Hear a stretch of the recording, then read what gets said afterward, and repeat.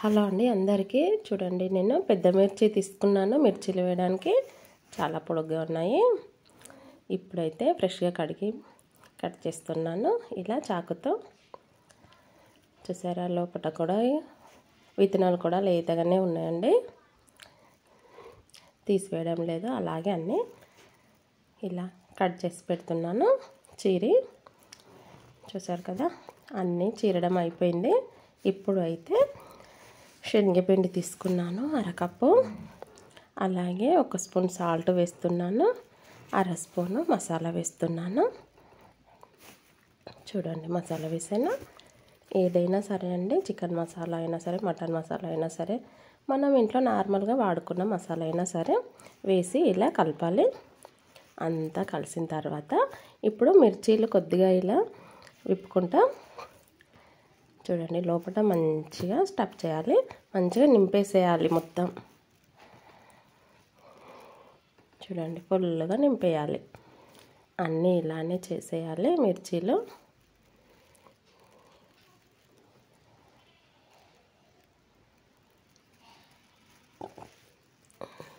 చూసారు కదా? అన్నీ ఇలానే నింపేసేయాలండి. చూడండి అన్నీ నింపేసాను పక్కకు పెట్టేస్తున్నాను. చూడండి పిండి మిగిలిపోయింది కదా నింపింది. మళ్ళీ పిండిలో కలిపిస్తానండి శనగపిండి మిర్చిలా కలిపేటప్పుడు కలిపిస్తాను. ఇప్పుడు ఒక కటోరన్నర శనగపిండి తీసుకున్నాను. మిగతాది కూడా మిగిలింది కదా అది కూడా అందులోనే వేసేస్తున్నాను. వేసి అర స్పూన్ సాల్ట్ అర స్పూన్ మసాలా పొడి ఒక స్పూన్ ఓమా దాన్ని అరచేతిలో వేసుకొని కొద్దిగా నలవాలండి. మంచిగా పొడి పొడిగా అవుతుంది. ఇలా అయిన తర్వాత వేసేసి మళ్ళీ ఒక స్పూన్ జీలకర్ర. ఇది కూడా మంచిగా నలవాలండి. ఇలా నలిసి వేయాలి.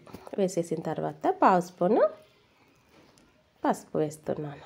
పసుపు వేసిన తర్వాత అంత కలిసేలాగా ఒకసారి మంచిగా కలపాలి. కలిపిన తర్వాత ఎంత వాటర్ అవసరమో అంత వేసుకొని మనం బజ్జీలు వేసుకునే పిండిలాగా కలుపుకోవాలి మంచిగా. మరీ పలుచగా కాకూడదండి. కొంచెం చిక్కగానే ఉండాలి. చూడండి ఇలా ఎలా కలిపానో ఇలా ఉండాలి జారుగా. మరీ పలుచగా కాకుండా మామూలుగా ఉండాలి. ఒక ఫైవ్ మినిట్స్ పక్కకు పెట్టేస్తానండి కలిపి. ఇప్పుడు ఒక చిన్న స్పూన్తో కొద్దిగా సోడా వేసాను. అది కూడా కలిపి మంచిగా కలిసేలాగా కలిపి పక్కకు పెట్టేస్తాను. ఒక ఫైవ్ లేక టెన్ మినిట్స్ వరకు. ఇప్పుడు టెన్ మినిట్స్ అయింది. తీసుకున్నాను. మళ్ళీ కలుపుతున్నాను మంచిగా. కలిపి చూడండి ఇలాంటిది. వాటర్ గ్లాస్ ఉంటుంది కదా? మనం వాటర్ తాగే గ్లాస్ అర లీటర్ది పిండి అంతా అందులో వేసేస్తున్నానండి. ఎందుకంటే మిర్చీలు చాలా పొడుగ్గా ఉన్నాయి. బౌల్లో వేయడానికి రాదు. పిండి సరిపోదండి. బౌల్లో పెట్టి వేస్తే సరిగ్గా రాదు. అందుకోసం ఇలాంటి గ్లాసులో పిండి వేసి కలిపిన పిండి వేసి మిర్చి ఇలా ముంచి ఇలా వేసామంటే చాలా బాగా వస్తాయండి మిర్చీలు. పిండి కూడా అక్కడ ఇక్కడ పడదు మంచిగా. ఇప్పుడు పిండి వేసాను కదా కొద్దిగా లూజ్ లూజ్ అయ్యేలాగా గ్లాసులో కొద్దిగా కలిపి చూడండి. చూపిస్తాను. మిర్చీలు ఎలా వేయాలో గ్లాస్ మిర్చీలు. చూసారు కదా గ్లాసులో పిండి ఇలా వేసి ఫుల్ నిండుగా వేయకూడదండి కొద్దిగా తక్కువ వేయాలి.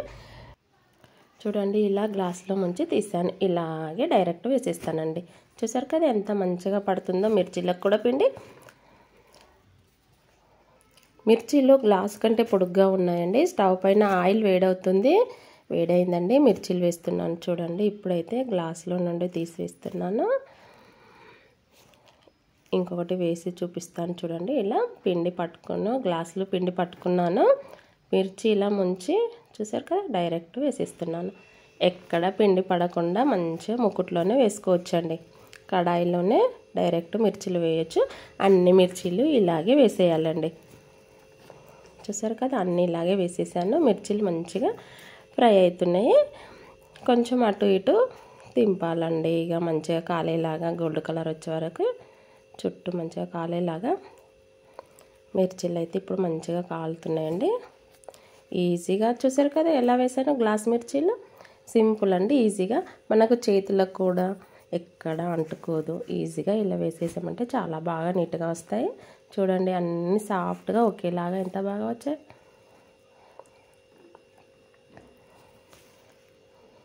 మిర్చీలు చూస్తుంటే మాత్రం తినాలనిపిస్తుందండి. గరం గరం మిర్చీలు అందరికీ ఇష్టం అండి. పైన ఉండే ఇలా ఉల్లిపాయ ముక్కలు వేసి కొద్దిగా కారం మసాలా చల్లుతున్నాను. కారం కారంగా మసాలా మసాలా చాలా టేస్టీగా ఉంటాయండి. చూసారు కదా ఎంత సాఫ్ట్గా ఎంత బాగా వచ్చాయో.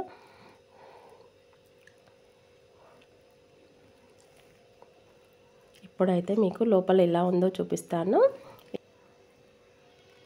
చూడండి మిర్చిని అయితే చేయితో ఇలా విరిచేస్తున్నాను. మెత్తగా మంచిగా స్మూత్గా ఉన్నాయండి. లోపల కూడా బాగా కాలినవి. చూడండి మిర్చీలు ఎంత బాగా ఉన్నాయో తినడానికి. చాలా ఇష్టంగా తింటారండి అందరూ. చూసారు కదా? అందరికీ నోట్లో నీళ్ళు ఊరుతాయండి. మిర్చీలు చూడగానే గుమగుమ వాసనలతోనే ఇప్పుడైతే తినేయడమేనండి. ప్లేట్లో పెట్టేసుకొని చూడండి. కట్ చేసి చూపిస్తాను ఒకసారి. విరిచి చూపించాను. అర్థం కాలే కదా? సరిగ్గా కనపడలేదు. చూడండి ఇలా ఎంత బాగా వచ్చినాయి లోపల? బాగా కాలేయండి గ్లాస్ మిర్చీలు ఎలా ఉన్నాయో చెప్పండి. మీకైతే నచ్చుతాయి అనుకుంటున్నాను